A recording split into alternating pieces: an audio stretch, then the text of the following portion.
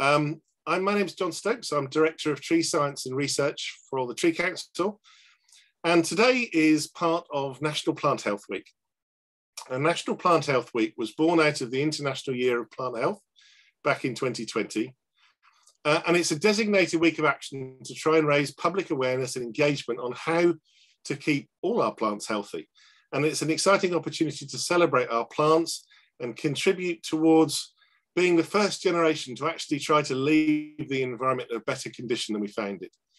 Although National Plant Health Week is led by DEFRA, it is in fact a collaborative effort of our whole range, 20 organisations uh, like ourselves and the Royal Horticultural Society and the Horticultural Trades Association, and we all work together to try and reach as large an audience as we can and communicate this vital message that we really need to keep our plants healthy if we're if we're to thrive. And so in, in each day in the week, there's a key set of messages, there's a key set of important topics, and there's the benefits that we can encourage society to enjoy and how they can protect their plants. And if, and if you want more information, please do visit the Plant Health Action website. And, and in fact, today is, is uh, Thursday the 12th, but it's also International Plant Health Day, the first ever International Plant Health Day within the structure of the um, of the week. So Charles and I are delighted to be part of the first International Plant Health Day uh, across the globe. And earlier on today, uh, the Chief Plant Health Officer, Nicholas Spence, um, did, a, did an event uh, to raise the profile of trees on the global stage. So it is really exciting that this is part of a, a worldwide movement to try and improve the state of our, our plant health. So many of you know me, as I say, I'm Jon from the Tree Council. Uh, but Charles, I'm joined tonight by Dr. Charles Lane, and Charles is a mycologist who joined uh, the UK Plant Health Service back in 1993. We've been working together for almost a very long time. Charles and I have both been doing this, um, and he spent he spent nearly 30 years identifying new and unusual fungi uh, and looking at how they spread around the UK and particularly over the last 10 years, Charles has been building on the capability and the capacity in plant health for biosecurity across, across the industry, across the, the charity organizations, and working with um, uh, DEFRA on behalf of FERA, which is the Food and Environment Research Agency that Charles, uh, Charles works within. He's also, he's also a fellow of the Royal Society of Biology and a senior plant health professional. It's the sort of badge I would only aspire to, Charles. and he's a professional member of the Arbor Association. And um, when Charles is not doing that in his spare time, he volunteers at the Yorkshire Arboretum as part of their local tree health centre. So what we're going to do tonight is we're going to talk to you about how we can all take action in this important week, how we can all take action for healthy trees. Um, and I am now going to pass, this, pass this, the presentation over to Charles, who is going to take us through, whoops, just give me two seconds, Charles, I'm going to get myself ready. Uh, Thank you. through presentation. Perfect. Uh, and hopefully, is that displaying in full screen mode? I can see uh, it's not in full screen for me, but it may be for other people watching. It worried me that it might not be. Um, just give me two seconds. See if this works better. How about now? Uh, still not for me, but. Uh, Blimey. Sorry, folks, the wonders of modern technology. it may it. be that others can see it in full screen. I think it flashed up there, Jon, so. Here we go. There we are. That should have done it. Yeah, that's great. Thanks very much, Jon. And it's a real pleasure to be here tonight. It's a, it's a fantastic week to be involved. Uh, I've always been passionate about trees. Uh, when I was a, a, young student, I was taken to Thetford Forest and shown around Thetford Forest by a, a forest pathologist. And I always thought anybody who took a axe to work must have a good job. Um, I spent many years not working in trees. I'm actually the Young Mushroom Scientist of the Year, 1993, and it's taken me 20 years to finally get into tree health. Um, so it's really about sharing my experience about working plant health and biosecurity, um, but also working in the diagnosis of ill health of trees. Um, so if we just jump on to the next slide, Jon, if that's all right. Um, so I'll take you back to 2012 when ash dieback was found for the first time in the natural environment. Uh, and it was in the laboratory at Fera uh, where I work, where we did all the identification for that national survey. But that really led to sort of quite a major sort of rethink and revision of tree health and the way that we manage trees.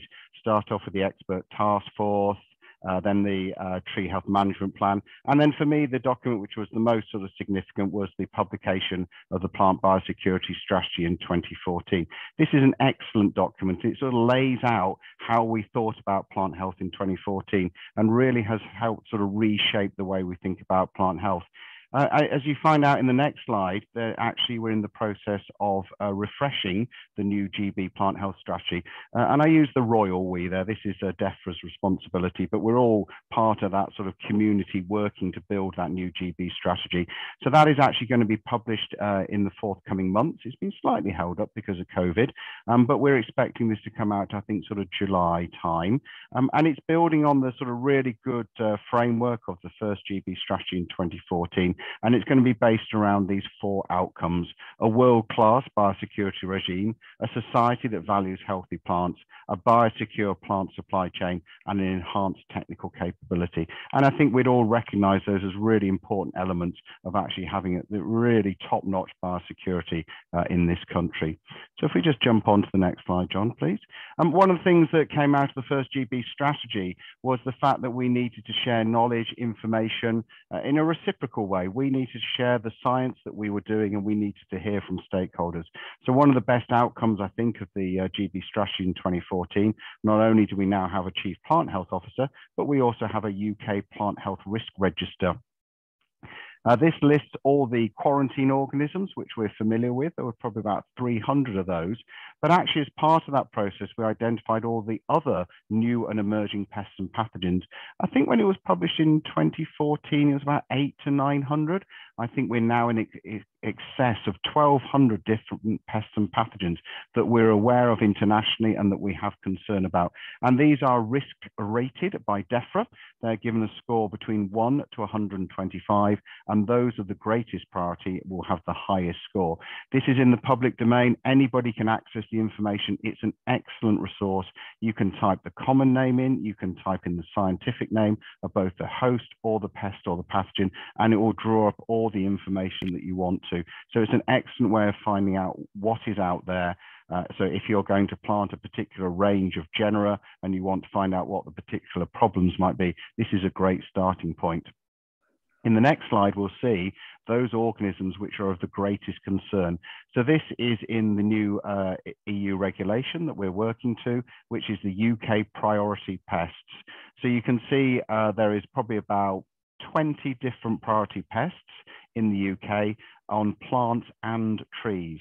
Those in yellow are those which occur on trees. So you can see a large proportion of the organisms that we're greatly concerned about uh, are actually on trees. And you'll recognize things in there like oak processionary moth and pine processionary moth. And then there's a, a, a, second set, if we look in the next slide, Jon, this is a, a, a project that I work on called Observatree which is a citizen science project. It's led by Forest Research. Uh, our volunteers are managed uh, by the Woodland Trust, and I'm one of the scientific advisors on that. And again, you can see here is a, a range of different priority pests and pathogens which we think are suitable for citizen science and our volunteers are looking for. Now, some of those organisms you may be more familiar with, sadly, things like horse chestnut leaf miner. Um, sadly, that was introduced about 20 years ago, is now quite prevalent in England and Wales, although its distribution in Scotland is still rather unknown. And we've got things like ash dieback in there and emerald ash borer. So we have a nice mix and range of different organisms uh, which we are concerned about. And these are some of the most important uh, pests and pathogens that are impacting the country now and potentially could impact in the future. If we go on to look in the next slide, please, Jon, just I wanted to talk about two of those different organisms you might think it's rather retrospective to talk about ash die, uh, dash, not dash dieback, but ash dieback. Been there, done that. We know everything we think we need to know about ash dieback. But I think ash dieback really is a very important organism. It has demonstrated what can happen to this generation. It's not potato blight, it's not Dutch elm disease. It actually affects our generation now and here. We can see what happens when you introduce an, in, an invasive non-native species to a country. So the disease was first recognized in Europe in the 1990s, and we had our first record in 2012. And that was the whole uh, initiative and drive behind the, the refresh review of uh, plant health and biosecurity. And there are a large number of sites, unfortunately, affected with ash dieback. Now, it's a fungal disease, and it goes by the uh, scientific name of Hymenoscyphus fraxineus. Sometimes it might be known as Chalara ash dieback as well. It is a serious disease of fraxinus that occurs across a wide range of different fraxinus species. And where it actually originated in uh, China and Asia, it's a relatively harmless disease. But where it has been introduced into Europe, um, it has been absolutely devastating. And unfortunately, I suspect we're all familiar with the symptoms of ash dieback, as you can see in this slide here. Probably the first thing I would certainly look at uh, young saplings, and you're going to see the dieback. Looks a little bit like witch's fingers, I always think, rather skinny and no leaves at all. Wilting, dieback. The most most diagnostic and characteristic feature I would recommend you always look for uh, is where you get the insertion of a branch into the main stem and you get that very characteristic diamond shaped lesion. So I suspect we're all quite familiar with diagnosing ash dieback on young plants. With mature plants, much more difficult. We can't get up close and personal. Um, there are also, um, ash is very prone to uh, an abiotic disease called ash decline, um, which can be very problematic and cause similar symptoms. So if you are looking at mature ash trees and you want to know whether it's got ash dieback, look for the regeneration growth underneath. And if that shows symptoms, I think you could be relatively more comfortable that you may have ash dieback. So ash dieback is still a very important disease, is still causing a huge amount of damage, and we're now learning to live with it. The threat in the next slide, which is still really uh, of concern to Ash, Jon, if we could just jump on. Oh, sorry, this is the distribution I've jumped to quickly. We'll go back one, Jon. Thank you, well done. Um, and this is just looking at the distribution. You can see on the, the dark blue colors where, the, where, where the disease was first found in 2012 down the eastern seaboard. And as you can see, the colors move into uh, pink, into pinks and reds and greens. You can see that we are still finding new records of ash dieback, and we're seeing a steady westward and northern distribution. But out there, there are still many UK grid squares where we don't know where ash dieback is. There's no doubt that it is there, but it would be great if you ever see ash dieback in any of those grid squares to report that through Tree Alert, which I'll talk to you a little bit more about. So ash dieback is still relevant and it is still interesting. But it is a particular concern when we think about fraxinus and ash in the next slide. When we talk about this really, really nasty, uh, potentially invasive pest, it's called the emerald ash borer. It's an absolutely beautiful beetle, and that's quite difficult for me to say as a pathologist because I don't really find insects particularly interesting, but this is absolutely beautiful. They're called jewel beetles, emerald green in color. They're sort of D-shaped, so it's not surprising as, as the beetle bores out from underneath the bark, it produces rather characteristic D-shaped exit hole, and that is what is looking for. But the damage, as we see in the next slide, is actually due to the larval stage. If we jump on. Yeah, so here is the larval stage that lives underneath the bark and it causes these beautiful sinuous galleries underneath the bark. And the whole time it's doing that, it's killing the living tissue and therefore you get cankers and dieback and you get some very serious dieback, which as you can see in the next slide, these are actually slides taken from uh, Russia. Um, because although the pest originally occurs from Asia, it was uh, accidentally introduced into Russia and is slowly spreading is slowly spreading uh, in Russia. Um, and these are the characteristic symptoms. You'll see very dead trees. As I mentioned, they girdle the stem, but the ash tree is desperately trying to regrow and you get this sort of lovely, like a little ballerina's dress frill at the base of the tree, which is called epicormic shoots and this is characteristic of emerald ash borer. Now, one of the things that we know, emerald ash borer was accidentally introduced into North America, where it was declared as the most uh, invasive and damaging species ever to be introduced into North America. It has killed tens, if not hundreds of millions of trees in North America. Now, they don't have ash dieback, the fungal disease, they only have emerald ash borer. But the way to find emerald ash borer in North America is to ring bark the stem of a tree. Um, and because the emerald ash borer selectively feed on a dead and dying tree. Um, so actually we potentially have the perfect storm. We have a large proportion of ash trees in this country which are weakened and under stress due to ash dieback. If the emerald ash borer was to be accidentally introduced, then it would be absolutely catastrophic and even worse than the current situation. So that's a really useful reminder of how an invasive species um, can actually cause a huge amount of damage we just look on the next slide, uh, this is a new threat. I thought it'd be quite interesting just to bring in a, a new disease. This is actually a nematode, uh, Litylenchus crenatae. Um, and this again, causes very nasty uh, foliar symptoms, as you can see in the picture there. The main thing there is on uh, beech or on Fagus species. You're looking at the interveinal, so the green tissue between the veins. Can you see how dark green that is to the relative to the rest of the leaf? That is due to a nematode feeding in the leaf and the bud uh, causing that interveinal uh, damage and uh, uh, harm. Um, the disease was originally thought to occur in Japan, um, but again, it has somehow arrived in uh, North America and it's actually a different species. So we have a new species of Litylenchus in North America, and it's done a huge amount of damage around the sort of um, the sort of northeast area of America and Canada. This is a disease uh, caused by nematode we're particularly concerned about. It doesn't occur in Europe and we're desperately trying to keep it out. So again, this is a project that we're working with Observatree, European partners and the International Plant Sentinel Network to prevent the introduction of this disease by encouraging you to look for it. So any symptoms of potentially of beech leaf disease should be reported through Tree Alert.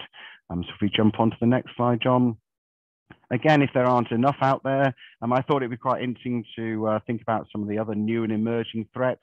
Uh, Phytophthora pluvialis is a very nasty disease that has recently been found in the UK. It was found in Cornwall, has been found on a number of occasions on uh, hemlock, causes nasty stem cankers and uh, foliar dieback.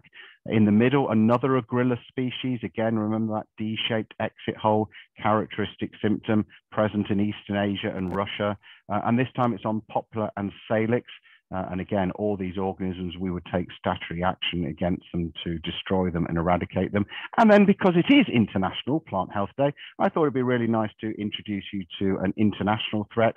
Uh, this is the pine tortoise scale, a completely unpronounceable scientific name to a pathologist, so I'm not going to embarrass myself. But this is very interesting. This disease, this uh, pest was found by my colleague, Chris Malumphy, who works for the UK Overseas Territories, and he has a hard job. He was out in the West Indies in the Turks and Caicos, and this particular scale insect has absolutely destroyed the native pine, pine, pine species in the Turks and Caicos. Um, huge, huge impact. Um, much to our great surprise, it was found in Italy in 2015 and then recently has been found in France. This is a potentially very damaging disease. We're not sure the impact it would be on our native species of pines, but again, it just illustrates the amount of potential threat there is. So we need to be particularly careful. So we just jump onto the next slide, Jon. So I think one of the things that's really important, I've talked to you about some of these really interesting and emerging problems. It's really important that we actually report these accurately. So if we jump onto the next slide. Um, I think one of the things that came out of the uh, ash dieback um, uh, problem in 2012 was actually a recognition that we need a central reporting mechanism for these early warning systems. Uh, and this is an excellent uh, piece of work that's led by Forest Research. It's called Tree Alert in Great Britain and Tree Check in Northern Ireland. And this allows our statutory services, our national plant protection organisations, our volunteers from organisations, uh, from stakeholders and citizens to all put their data all into one place. All that information goes to Forest Research and then they can make the right sort of decision about the type of response. So if it was a finding of horse chestnut leaf miner in England, it's an interesting finding, but it wouldn't really result in great statutory action. If it was a finding of the emerald ash borer, um, there would be much uh, concern and there would be an immediate response. So it's a very good way of encouraging everybody to contribute and everybody to uh, be able to respond uh, reactively to that. And if you just jump to the next slide, Jon, here's further details. So this is how you can help check your local trees, report your sightings, use a tree alert and keep yourself well informed. So that really is just a, a very quick rapid review through some of the emerging threats, some of the pests and pathogens and how you might record and report. Now, Jon asked me specifically to, to use my experience as a diagnostician. So we just jump onto the next slide, Jon. So I think one of the things I've learned over the years is um, I get sent many pictures. I often get phoned up. You know, I've got a tree, it looks a little bit sick. Next door neighbors, people in the village, when I'm out and about, I'm constantly being asked, why is this tree looking sick? Now, I've spent 20 years in laboratory diagnosing uh, plant and, and tree health problems. And I think, I think the most important thing that I recognize is actually on very few occasions is actually due to a pest or pathogen. It's normally due to cultural and environmental situation. So we just jump onto the next slide. And this is an absolute classic for anybody who has studied plant science and plant health. This is called the disease triangle, and it appears in many different formats. I've slightly tweaked it um, to say that damage and symptoms. The damage and symptoms that you see in the field at that time is influenced by three different elements. Host will be the first thing. Some species are susceptible to pests and pathogens, some are a little more tolerant, and some are resistant. So the type of host will affect the amount of damage that you see in the field.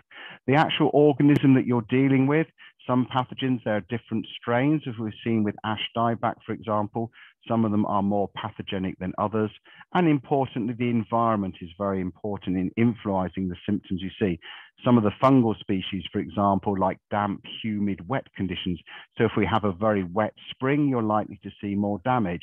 It may be a, an organism that prefers a dry uh, wood. And again, if we have a drought season, you may see more damage.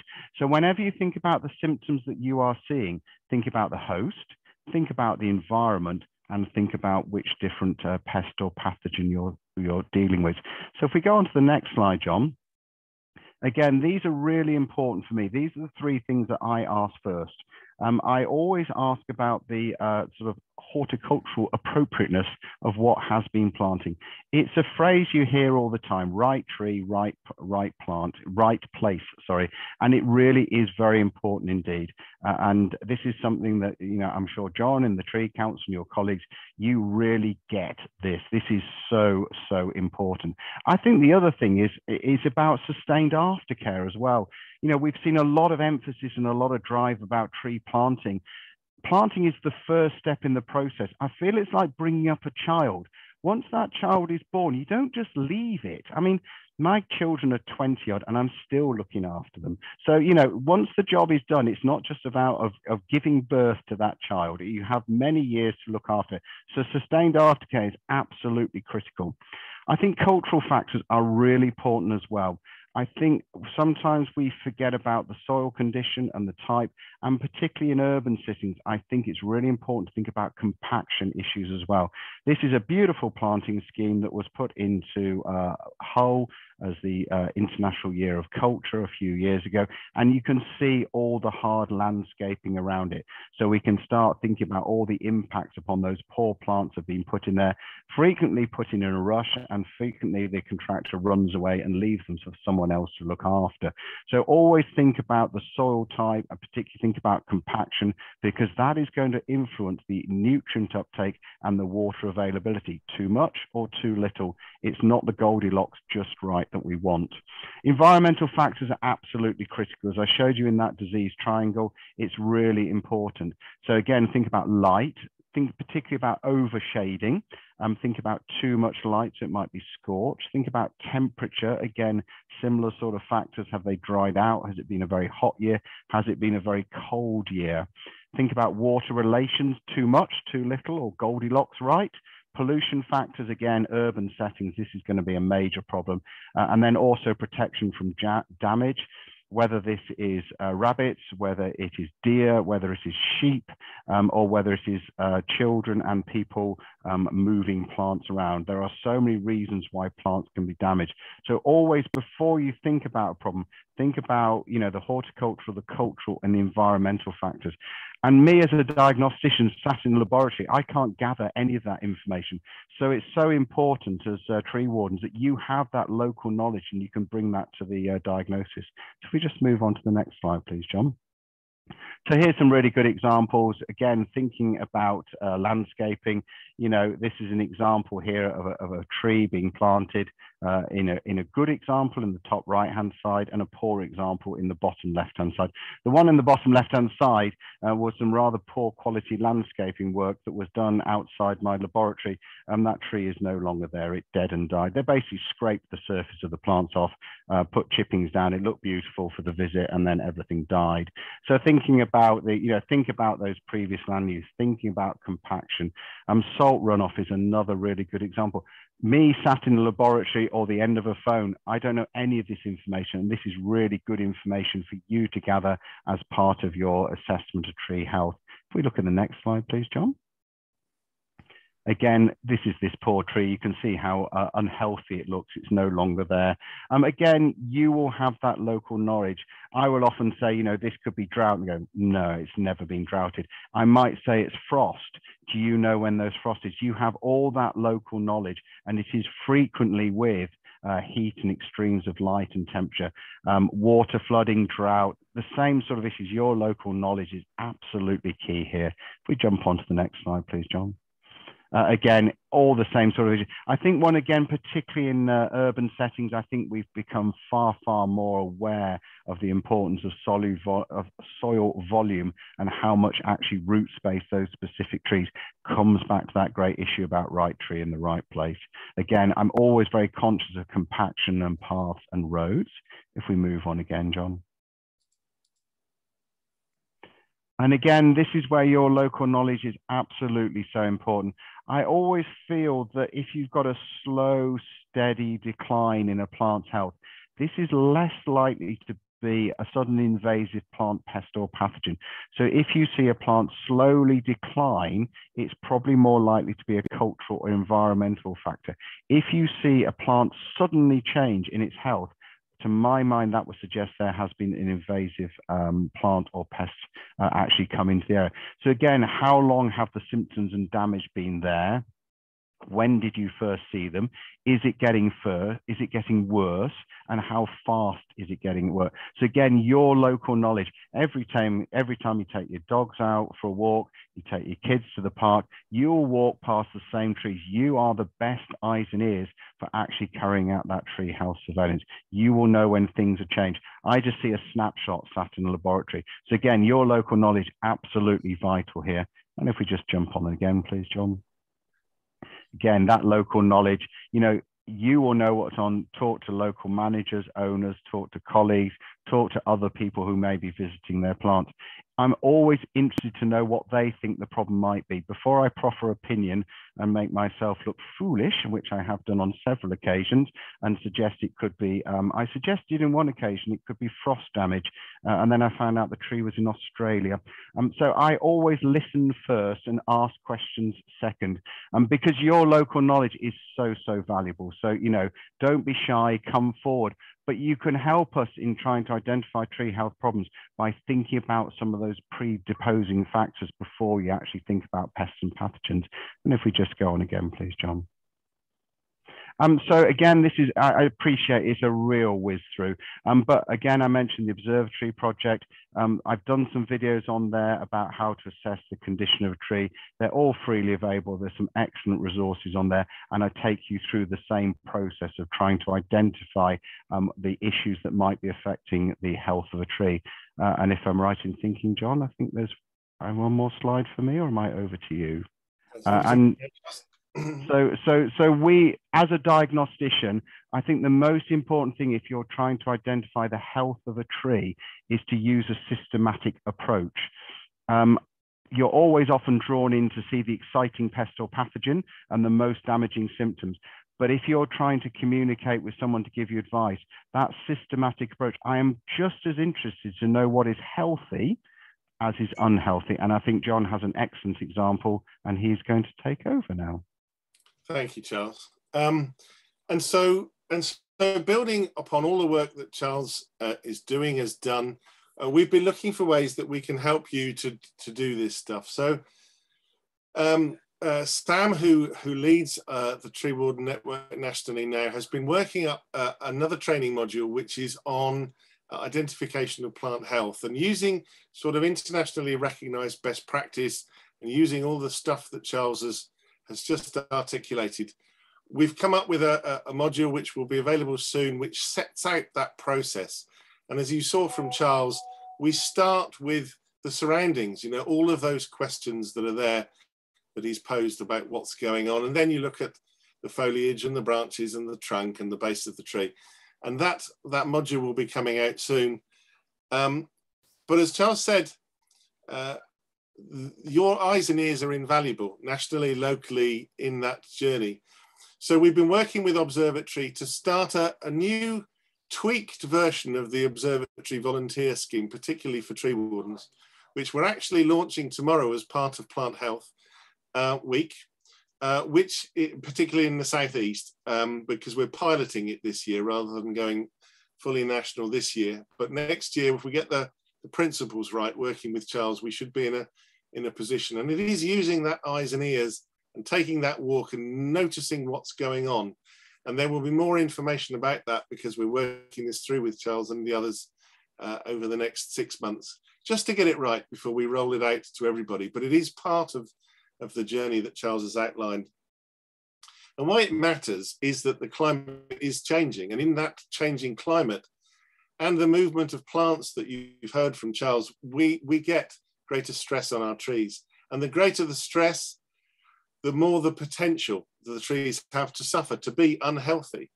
Um, and we're, we're here to try and get as many trees as we can to be healthy. And that requires you to be engaged at every part of the journey of a tree's life, just spotting the pests, the diseases, the problems, but also thinking about the beginning of the journey, the start of the whole process.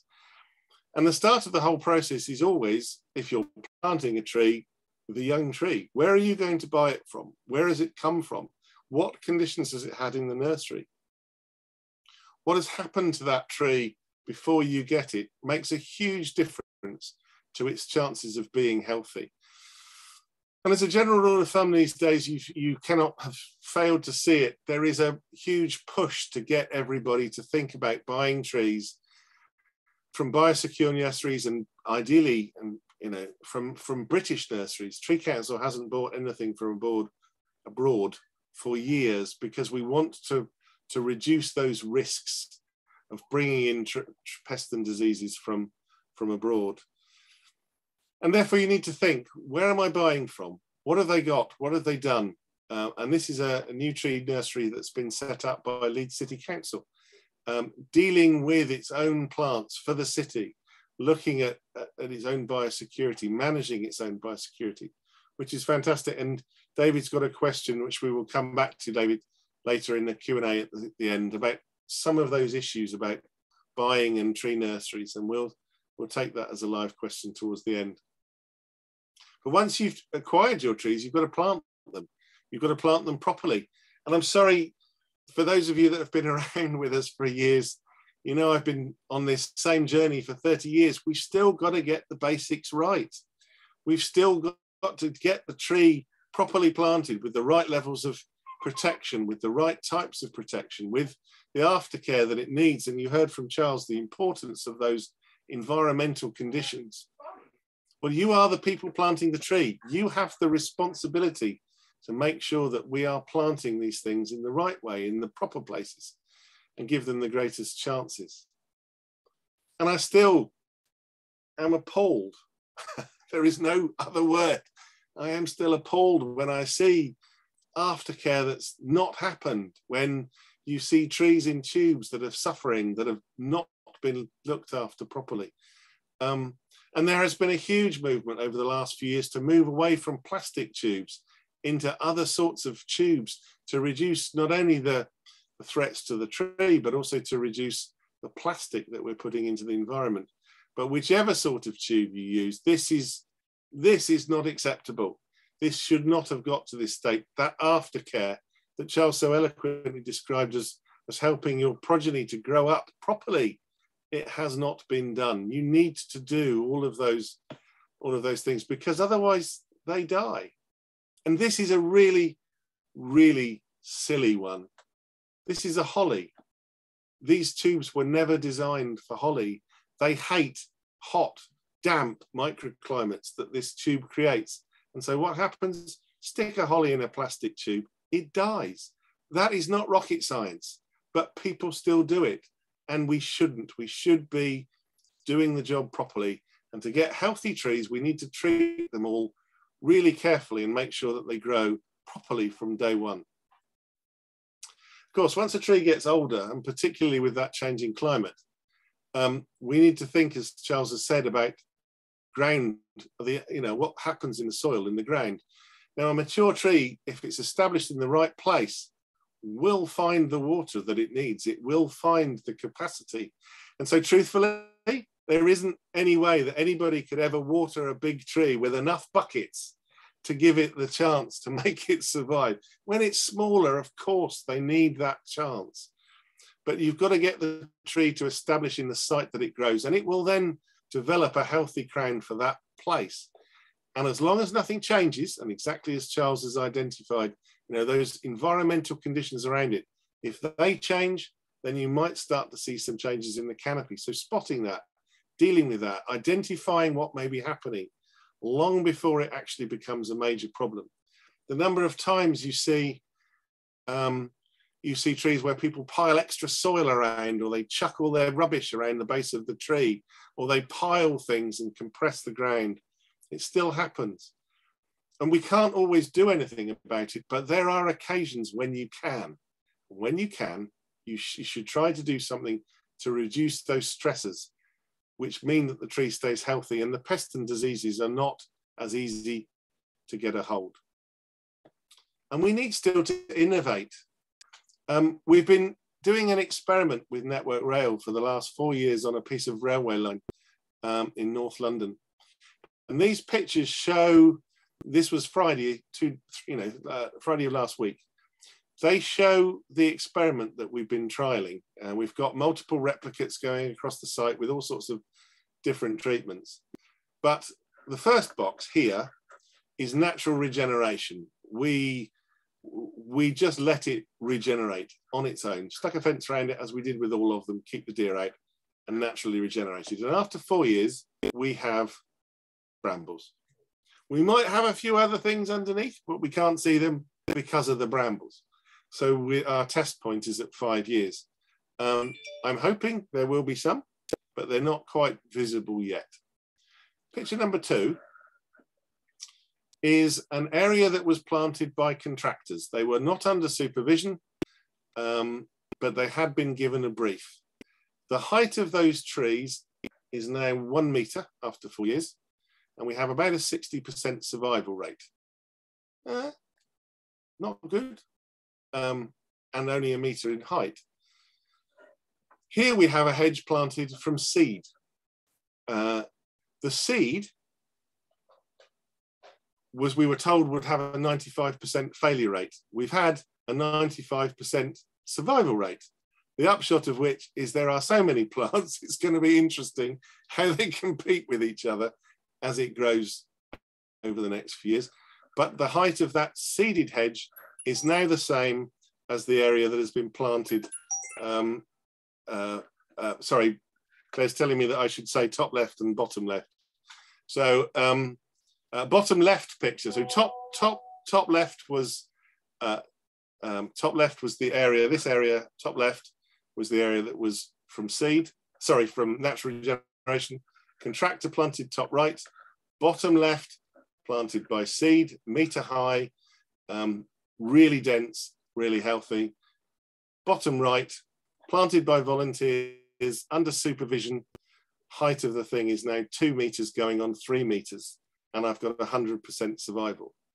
So if you want healthy trees, doing it well by people who care about it with passion uh, is gives you a potentially much greater chance on the basis of this trial than if you do it by any other means. You get a denser, quicker hedge than you've done by any of the other means. But I am really intrigued what will happen in the seeded hedge over the next few years because if we get this right, this is a lot cheaper and has the, the potential to be a lot more effective. And after all, in the end, nature did it by seed.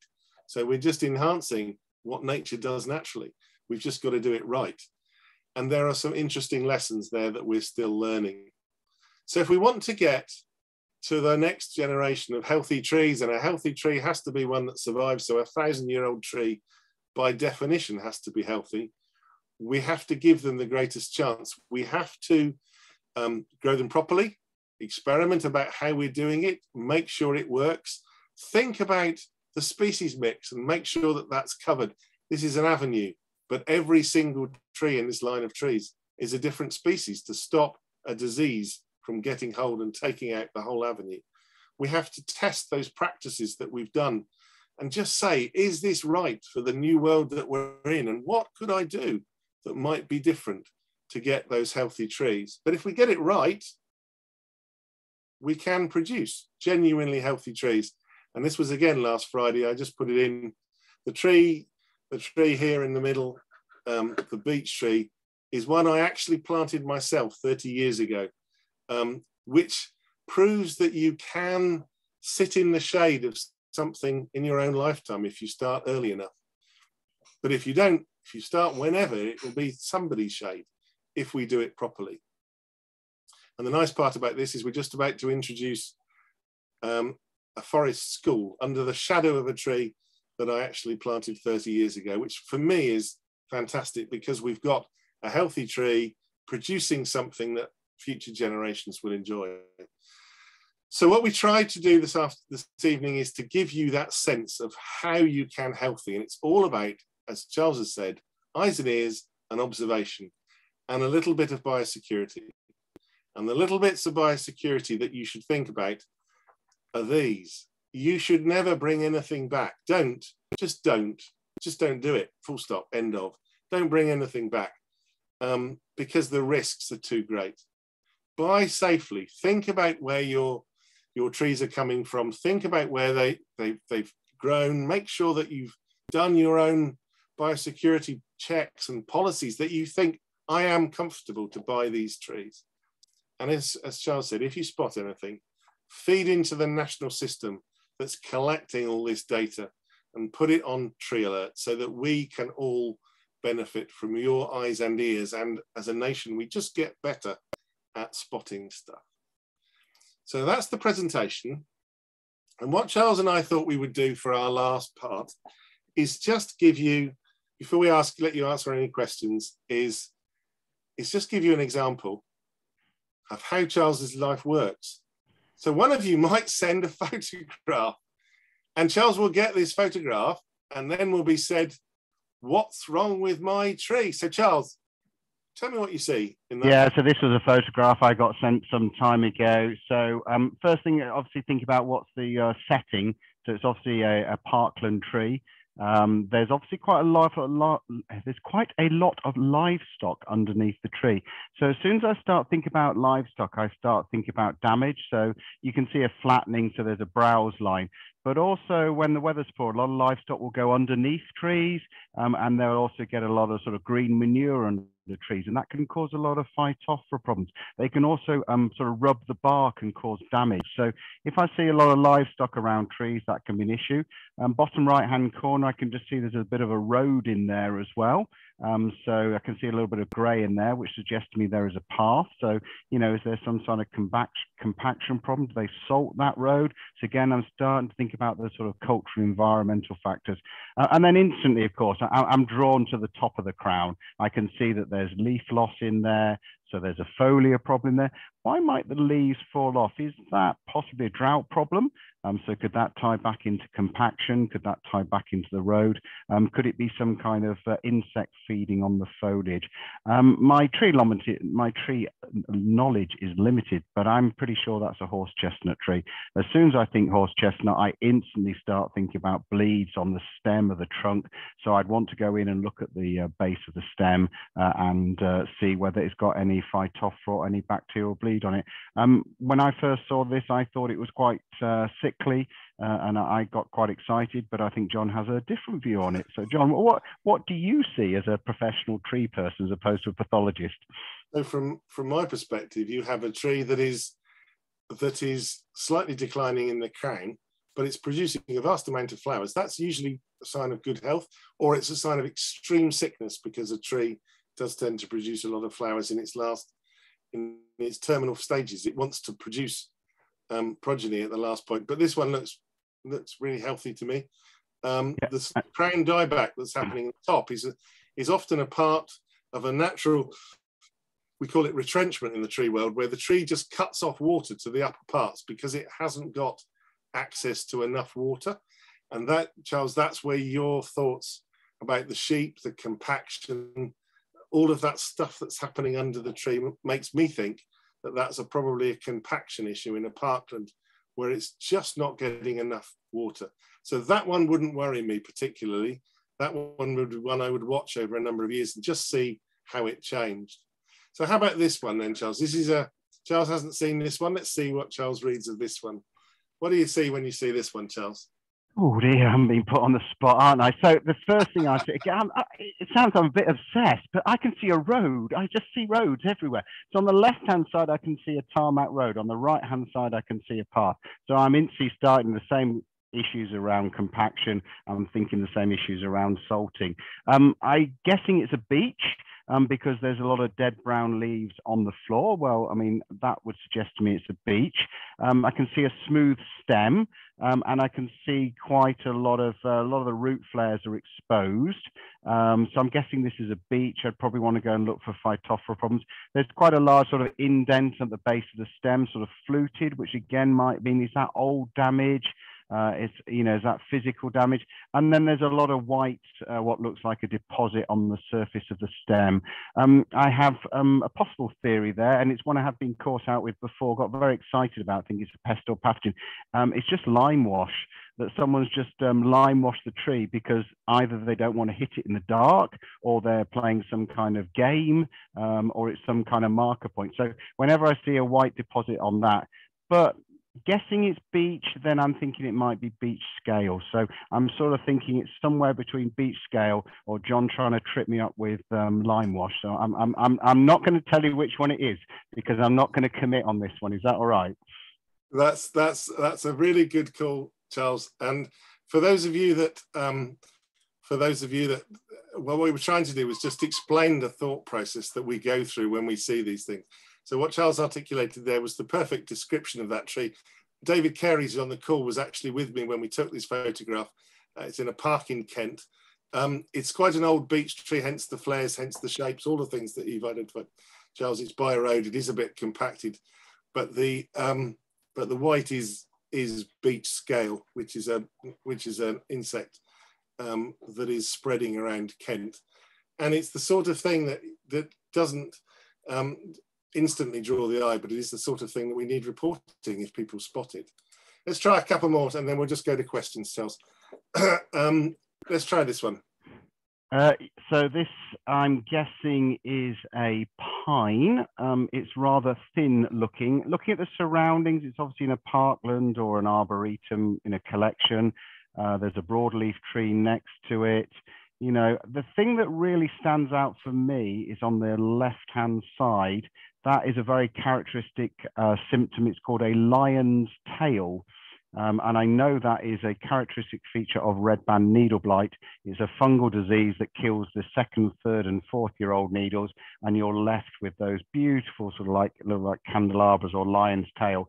The other thing is also you tend to get damage on the lower part of the stem uh, and on the upper part of the crown where the humidity is lower and the air flows better and the foliage is dry, so you can see that environmental impact, um, then actually you're less likely to get disease. So I'm confident this is red band needle blight. Jon, tell me otherwise. You are you are 100% correct, Charles. That is red band needle blight. Um, and the last one of these, just just is this one. Yeah, I mean, th this is a really interesting one. I remember when uh, the BBC were first filming ash dieback, and they didn't actually know what ash dieback looked. So I used to watch the news and watch these beautiful lichens on ash trees, absolutely stunning. This looks like one of those weird things that you sometimes see on trees. Um, it could be algal, could be a rust from a sort of like a rusty tar spot. It looks rather bright and orangey to me. I've seen them in pink, green, and blue. And I suspect there's someone who's gone out and spray canned it for um, removal. And I have been sent this a couple of times before. Normally it's a nice little neat spot, but I'm going to stick my neck out on this, Jon, and say it's human and it's paint. And uh, you would be 100% correct, Charles. I spent about an hour looking at this one, trying to work out whether it was lichen, fungal, and eventually decided that I didn't realize. And a lady walked past and said, Why did they come past last week and paint all our trees with these big orange spots? It was in the end the only way that I worked it out was local knowledge, exactly as you said earlier. And what yeah. we know of all of you as tree wardens is that you do this, that you do use your skills, you do use your knowledge, you're out there looking. Um, you're out there looking at the trees, you're spotting problems. Uh, and in fact, um, uh, the first case of ash dieback in the country was in the wild, was recorded by a tree warden up in Norfolk, which a, a lady called Anne Edwards, who was the first person. So you are as tree wardens, you are an absolutely invaluable part of this process around the country. And what Charles and I wanted to do tonight was just to give you some of the thoughts that we go through in our head when we deal with some of these problems. But through this um, healthy tree walk that we're developing for you as a pilot, we will be articulating some of this properly so that you can start to, to use those skills over the next few years to actually uh, help to feed into the whole network of plant health. So what I'd like to do now, Charles, is we've got uh, a few questions that we haven't dealt with. So I'm just going to see if I can work my way through as many as, the, as we can until the end. Um, and if you if you can answer them, if you can't, we can't.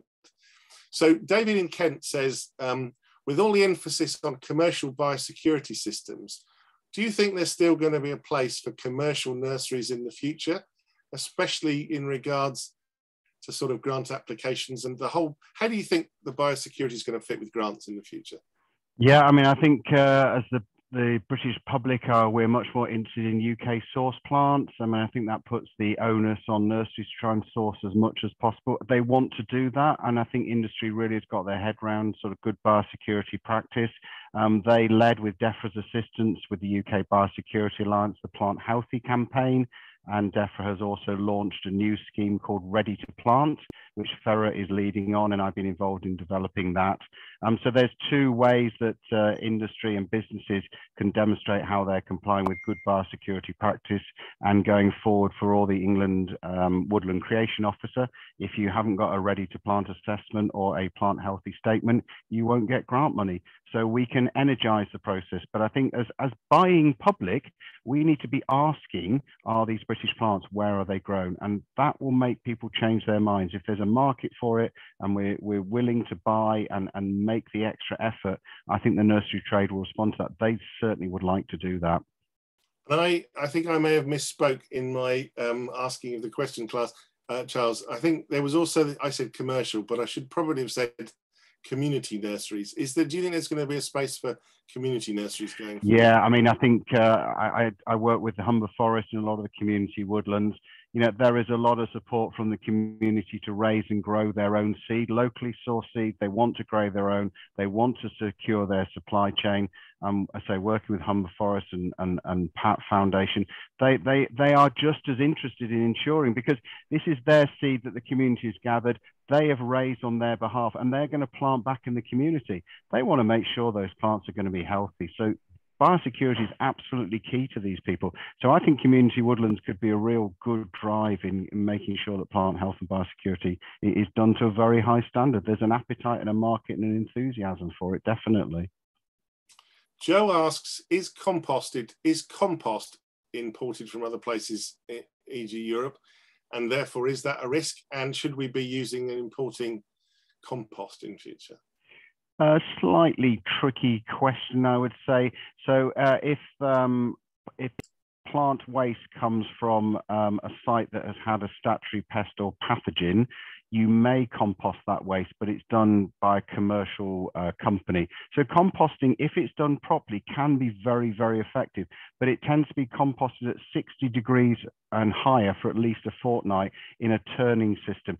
Very few people can actually achieve that. So compost is potentially, any plant material is potentially a source of pests and pathogens. I don't know about the market and the movement of compost from overseas. It to my mind, it seems unlikely because it's a bulky commodity. Um, it seems unlikely, but you know, if if plant waste is composted professionally and effectively, it can be very good indeed. Home composting systems don't tend to be very good if you've got pests and pathogens, but for breaking down plant material, it is fine. We have a genuinely intriguing question to which I I have no idea, Charles, and but it might play to your well, it will play to your strengths. Thank you for that. Um, so it's from Anais, and uh, they say that there's there, there's a woodland near them where uh, lots of young trees were, were chopped down over the last couple of years, and that's led to the growth of uh, a whole load of garlic mustard across the site. And they've read that garlic mustard destroys the mycorrhizal networks um, that might that might cause either health or damage to trees and so they're wondering whether they should get rid of the, the garlic mustard. Do you know anything about the interrelationship of garlic mustard and good and bad fungi? Uh, I assume garlic mustard is probably going to be an allium species, and no, it's, um, it's, actually a crucifer. Oh, is it? I yeah, I, I am out my comfort zone. I, I, mean, allium and garlic has been used as a natural biological control agent um, so again, I, am I'm, I'm out my comfort zone. I'll be honest with you, so I won't proffer an opinion. No, and I I haven't either. It's a question I've never been asked, never heard of. But I tell you what, um, Charles and I will see if we can find an answer because I think that's one that I'd actually genuinely like like to know the answer for me. Yeah. If nothing else. Um, so we will come back to you on that. Uh, so um, somebody's asked whether we should report suspected spruce bark beetle markings on trees. Uh, how quickly do they cause problem? And if so, how? So I think I'll answer that one. If you suspect it, definitely. Um, because we, we won't know if we don't know. There is a lot of concern, particularly in the southeast, about spruce bark beetle at the moment. So do do use the uh, tree alert form to, to, to fill out and do your questions. Charles. Yeah, and again, I would say if in doubt, report it to Tree Alert.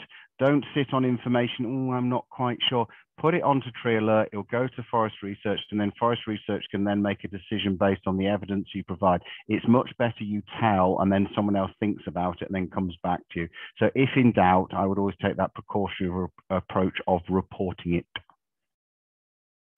we um, are almost out of time, folks. Um, uh, there's one one last question, which is um, on AI-based system tracking and land-based sensors to help agriculture, um, and whether they can be used to specifically identify particular fungi. Because um, Rick is looking to try and launch a project to do such tracking. Have you seen any sensors that detect specific tree infections or satellite data sets which show infestations? Uh, not specifically for fungal diseases. Obviously, uh, forest research do a lot of aerial surveys by helicopter and by drones to identify symptoms of things like Phytophthora spruce bark beetle. So aerial surveillance is a standard technique in uh, forest research. Uh, and I think if someone has got a research idea, they should be talking to forest research uh, and I'm sure they'd be more than interesting to advise and guide on that subject matter. So we come to the end of our allotted slot. Thank you all for, for attending. Uh, somebody asked me a slightly bizarre question, which Charles asked me the other day, which is what this thing over my, over my right hand shoulder. Um, my wife's uncle uh, had a had um, a reference collection of woods because he was a master woodmaker. Unfortunately, he's deceased.